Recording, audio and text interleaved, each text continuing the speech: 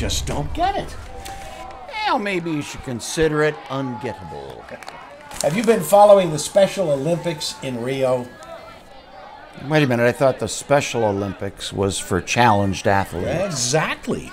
With all the pollution down there, they've had to create a bunch of challenging new events. Oh, like what, pray tell? Well, there's the salmonella shite put, high diphtheria diving, Yeah. the retching relay, and Okay. the open latrine long jump. All right, I'm hooked.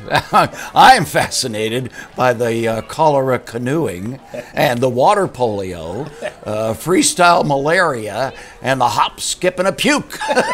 All right, how about the uh, guinea worm writhing on the floor exercise? oh yes, Yeah. I you know I prefer the trichinosis triathlon. Because of the toxic garbage floating dead dogs and body parts, they've had to radically revise the sailing competitions. Yeah, I'm guessing a clean sweep would be out of the question. then, huh? Yes. And worse, due to the Zika virus, the girl from Ipanema is eponemic, and she has a hazmat suit covering her bikini. And when she passes, each one she passes goes. Ow! Jeez! Oh! Gosh! Give me some deet! Uh, oh, wait a minute, wait a minute.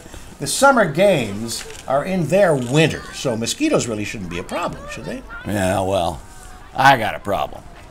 What's that?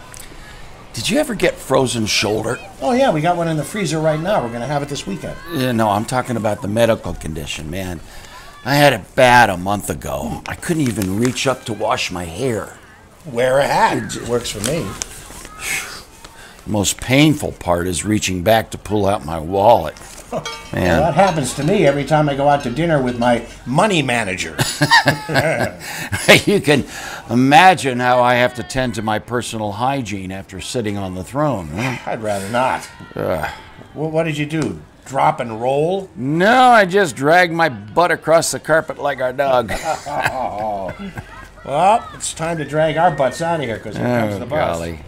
Could, could you reach into my pants and pull out my bus pass, please? Let the driver do it. He doesn't know you. Okay, good point. Yeah. Boomers on the Bench is based on actual and factual, freshly broken news. It's all re- re- real, folks.